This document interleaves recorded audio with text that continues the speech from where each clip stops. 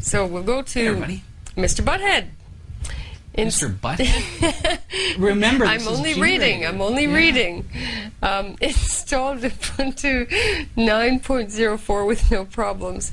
However, the native res of the monitor has placed the upper menu bar off the screen. Hmm. At this time, there's nothing that I can do to shrink this down to size where I can just select rather than hunt and peck to find the drop-down menu.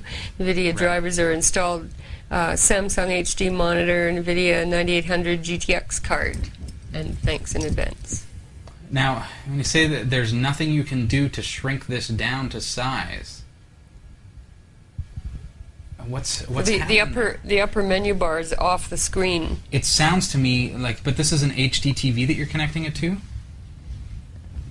It's a Samsung HD monitor. See, I'm now I'm sneaking peeks at her monitor here. Um, it could be now. It's rare with uh, with a digital monitor, but it could be overscan. If if your computer is detecting it as a TV, what you need to do is you need to go System Administration NVIDIA X Server Settings.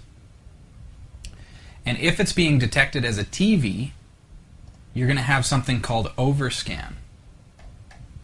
See this guy?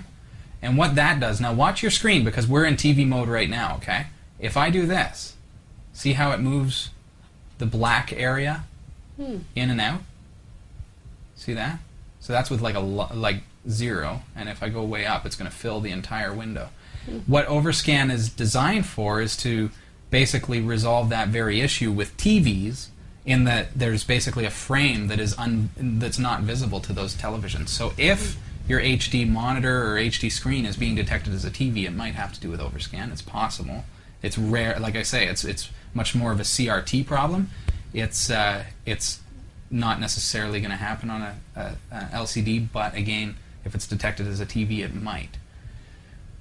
Other than that, of course, it, I wonder if it's a resolution issue. Using that same application, NVIDIA X Server Settings, which is NVIDIA dash settings, if you want to run it with Alt F2, if because you can't see that menu, it might be hard for you to click on it.